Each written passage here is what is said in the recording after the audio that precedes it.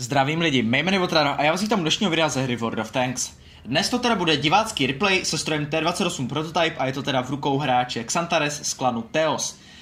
Klan Teos je teda jeden z nejlepších klanů na světě, teda top konkrétně asi nějakých top 250, takže jsou zhruba na podobné pozici jako náš klan RD, rychlá divize. Já momentálně teď na, klano, na, na globální mapu jsem teď v jiném klanu, abych pomohl, konkrétně teda v klanu SWAT 3, ale po klanovce se, eh, se teda zase zpátky k RDčkům vrátím. Ale to teď není vůbec podstatné, dneska tady jde teda hlavně o tady tento replay. Tady za jízdy zkusil šel na VZ, už to netrefil, ale T28 Prototype je dost zajímavý stroj. Vy byste měli být údajně celkem solidně opancéřovaní. Když se podíváme tady uh, na tento stroj, tak máme teda tady skoro plně otočnou věž. Když se podíváme na tu věž, tak ona se teda může otočit zhruba do takového úhlu, jak můžete vidět tady dole. Není plně otočná, ale je skoro plně otočná, což samozřejmě na TDčko super. Tady si počkal na doměření na to e ELCčka a trefil mu krásnou ránu za 433. Když už teda o tom děle, tak na základní munici teda máme 400 alfů poškození a 248, 248 mm průbojnosti.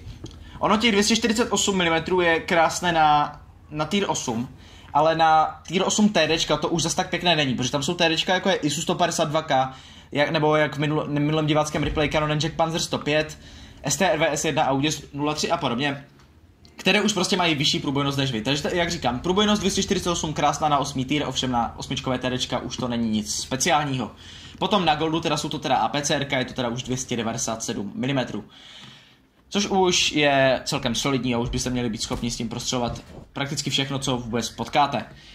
Mm, co se týče shell velocity nebo rychlosti náboje, tak teda na základní munici to je 945, což zase není žádná sláva, ale na goldu je to potom 1181, což je celkem pěkné. No a on si tady našel úhel na toho Bizonteho a takhle farmí do boku. Uh, ještě k tomu T28 prototype. Tento stroj má dost solidní čelný pancíř. Ten čelný pancíř tam pohybuje efektivní o něco přes 200 mm. Tady na té korbě je to přes 200 mm, pokud se nepletu, tak ta vana by taky neměla být zase nějaký velký weak spot a ta věž celkově je taky dost solidně opancéřovaná.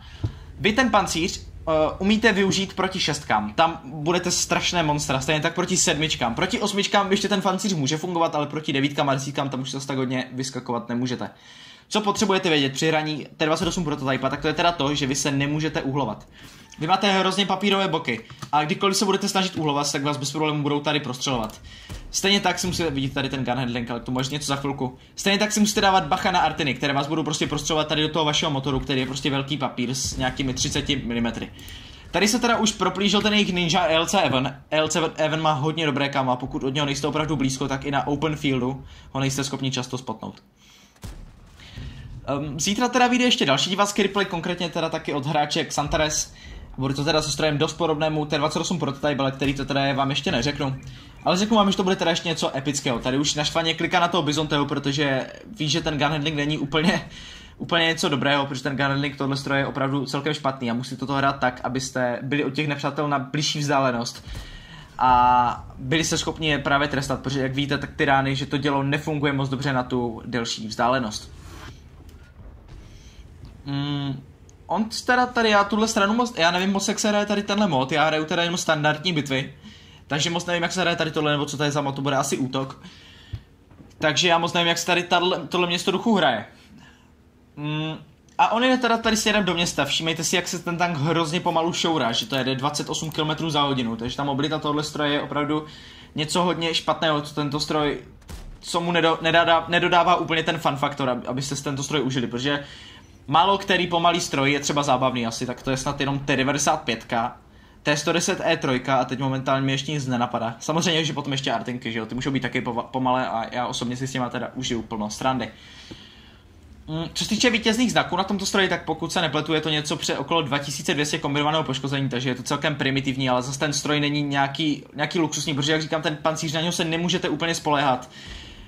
Um, jste pomalý, Artiny vás můžou často prostřelovat, takže na to bacha. Navíc nemáte dost úplně hodně životu. Tady vidíte, že jsi vyjel a dostal teda přes kolečko, tady tohle bylo jasné, že to prostřelí. Ale ono teda aspoň dopíná, takže takže vytradoval s ním, sice jenom za 154, ale je důležité, že už je teda o IS-6 míň. A všimněte si, jak ty životy šly hned rychle dolů. Vy těch životů nemáte opravdu nějak hodně, máte jich teda jenom 1150. A vzhledem k tomu, že jste předurčení k tomu, abyste to hrali s těmi těžkými tanky, tak bych to nazval jako slabší těžký tank, co má celkem teda solidní DPM. Teď si nejsem jistý z hlavy, kolik to je, ale to DPM je opravdu solidní. Každopádně tady Xantares si teda vyjíždí dopředu a hraje tady na krátkou vzdálenost objektem 257, potom tam je teda ještě to SUčko a ještě je tady Bizon, který je teda už od něho na jednu ránu. Ale hlavně teda bacha na to objekta 257, což je dost silný tank, který je dost dobře opancéřovaný, když s těmi APCRky bychom neměli mít nějaký velký problém. I když na objekta 257 čelně jsou teda rozhodně potom lepší ty hity, které tento stroj nemá. Které má například teda ten Canon Jack Panzer 105, kterého jste mohli vidět v, eh, v posledním diváckém replay. No, my teda máme zatím 2569 poškození. Tady víš, že krásně SUčka bůčkem a bez problémů nádherná rána se 370. Objekt tady využívá té příležitosti, že může vyjet, bohužel teda potrojil gun handling, nebo bohužel pro objekta. A ono tady krásně, krásně, chytře to udělal, že si ho tracknul. Tím pádem za něho, pokud do něj budou střílet, tak za něj dostane asistenci, jenže objekt tam má pravděpodobně teda opravy na posádce, on si ho trackuje znova. Takže pok- tak uvidíme, jak se mu rychle opraví ten pas. Každopádně on se ho snaží udržet teda pravděpodobně na tom permatreku. Ne, ne, ne, on se mu snažil prostředit přesně tak. On díky toho, že má takhle uh, sklopenou tu korbu do toho Včka, tak on je schopný, pokud stojí tak ten objekt, ho s těma silnýma AVCRkama prostřelit. Krásná rána mezi pásy. Opravdu ten pancíř do boku toho objekta 257 je strašně těžké prostřelit, ale pokud víte, kam to prostřelovat, tak je možné to prosouvat, jak tady víte, jak to Xantares bez problémů prostřeluje. Tady říká tomu objektovi, aby ho podpořil, on se nakonec rozhodl, že a, Naštěstí ho teda ne, uh, neprostřelil tady ten objekt 257. Můžete si všímat, že umí ten stroj rozhodně něco zablokovat a i proti těm devítkám. Víte, že už má teda 1170 zab, uh, zablokované, tady dost, dost šťastně trefil ten typ 61, ještě k tomu ho teda zapálil, no a on si tady teda dopíná za 312 SU 101. Mm, a teď se otáčí, už mu teda došly APCRK, už má teda jenom 13 APček a 5 Hček, takže vidíte, že té munice tam není opravdu nějak hodně, takže pokud by se stříleli třeba jak úplný blázni, tak je dost možné, že, že vám třeba ta munice dojde. On se kouká, jestli na něho nekouká, ten bizon vyjíždí, překvapuje ho a krásně ho tady pod dělem trefil do vaničky za 358. No a má teda tři zničené vozidla a 5230 poškození v T28 prototypovi. Pokud vidíte, jak se teď momenty seká tady ten replay, tak to rozhodně není moje chyba. Víte, že ty FPS nahoře jsou skvělé, ale je to tedy chyba replay. Takže za případné bugy se omlouvám a říkám, že to není chyba z mojí strany, ale už tenhle výkon, nebo tenhle výkon obecně ze strany uh, Xantarese je rozhodně luxusní, protože T28 prototype rozhodně není stroj, s kterým byste chtěli nějak uh, hrát pro zábavu nebo něco takového. On to teda pravděpodobně expil by se dostal na, na T110 E4 nebo právě na T110 E3, jestli se nepletu, tak z T28 potom můžete jít ještě, teda z T28 prototype můžete jít ještě na T28, z které potom můžete jít dál. Ale tady jste viděli, jak, jak ten gun se chová. V průběhu bitvy jste celkově mohli vidět, jak na tu zdálku se snažil něco trefit s tím prototypem. Takže to prostě není úplně, uh, úplně to, co byste chtěli. On si tady našel ránu, ta rána už skoro letěla pryč, na ho teda trefil za 406, což je samozřejmě pěkné. A má 5636 poškození. Samozřejmě by bylo krásné, kdyby se mu podařilo trefit těch, těch 6000, ale to by musel ten typ 61 nějak celkem hloupě vyjet. Protože ten typ 61 ví, že tady ten prototyp. A asi to nebude úplně špatný hráč, když si našel tu krásnou ránu, jak nás zapálil, tak asi mě, musel vědět, kam má koukat. No a je tam teda ten event, který ho provokuje. A on by mohl vyprovokovat toho typa, aby právě vyjel a píknul tady pro to Xantarese, který by ho potom mohl dát krásnou ránu za 400. Ale pozor, ty by nás mohl prostřelit, protože typ nemá vůbec špatné dělo. Sice má to stokové, ale i přesto to stokové dělo je tedy to topové dělo ze 101, které je hodně solí. A ono tady krásně trefuje za 412, podaří se mu odrazit nebo ne. A naštěstí zablokoval, pancířem letělo to do pásu. A bohužel mu ho teda vypnul padestovka.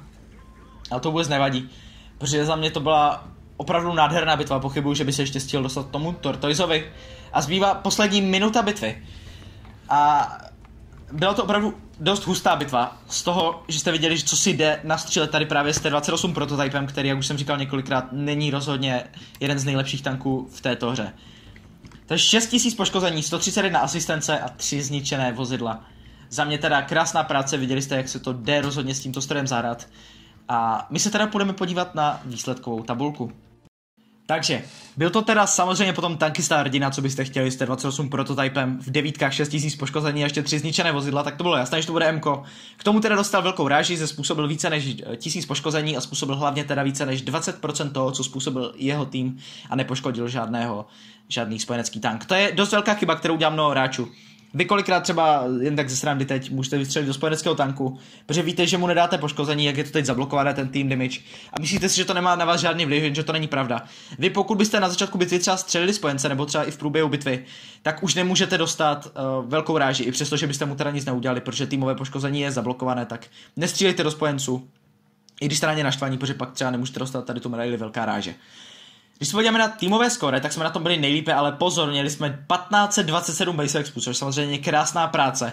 A za náma byl potom teda objekt 43 s 12 53 base expy, což taky samozřejmě krása, ale teda měl pět zničených vozidel. Uh, na spodku teda potom byl AMX 65T, což je opravdu tragický tank, ale já si ho pravděpodobně vyjezdím, jenom abych s ním mohl hrát, protože já jsem masochista v téhle hře, já hraju Churchilla GC, já markuju Arteny, takže já jsem dost velké prase, takže si myslím, že AMX65 by mě dokonce snad i bavilo. Ale v nepřátelském týmu to krásně nastřílel Tortoise, samozřejmě Tortoise má brutální DPM, bohužel to samozřejmě, bohužel pro Tortoise to nestačilo na to, aby zachránil jejich tým. Když se podíváme na podrobnou zprávu, tak teda vystřelil 26 střel, za 18krát trefil a 16krát postřelil těch, těch 8 šel, co net, eh, těch nábojů, co netrefil, tak většinou teda bylo, jak se snažil trefit ty bizonte z toho kopečku.